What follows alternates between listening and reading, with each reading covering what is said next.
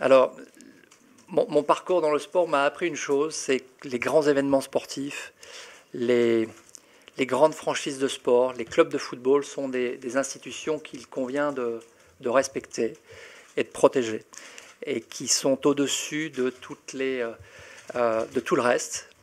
Euh, et donc j'aurai à cœur de, veiller à la, à la défense des, valeurs fondatrices du club, à la défense de ses intérêts, à la cohésion de ses équipes et de ses personnels à, son ouverture vers le monde aussi. Bordeaux et, sa région ont une notoriété euh, indéniablement internationale. Euh, et donc il me semble important de capitaliser sur son ancrage euh, tout en ouverture, tout en garantissant une ouverture sur le monde.